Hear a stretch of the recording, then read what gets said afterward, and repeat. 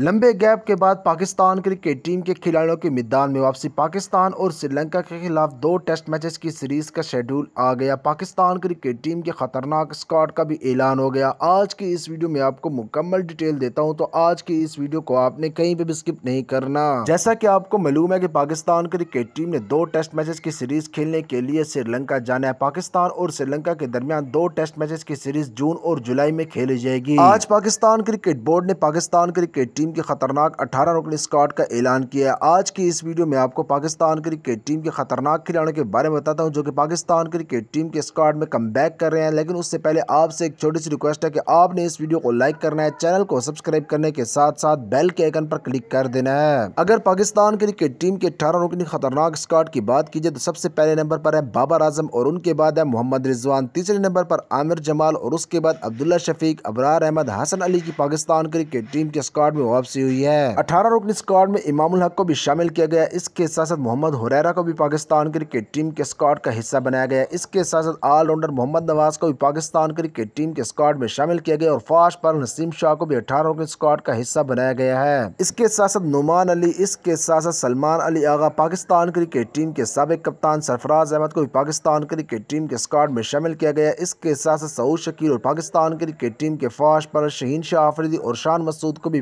Pakistan cricket team के squad में शामिल किया गया है। मेरा आप सबसे एक छोटा सवाल है कि पाकिस्तान क्रिकेट टीम के इस स्क्वाड में किस खिलाड़ी को नहीं होना चाहिए था और किस खिलाड़ी को होना चाहिए था? आपने उस खिलाड़ी का नाम हमें कमेंट बार में ज़रूर बताना है कि किस को होना चाहिए था और किस को नहीं होना चाहिए था।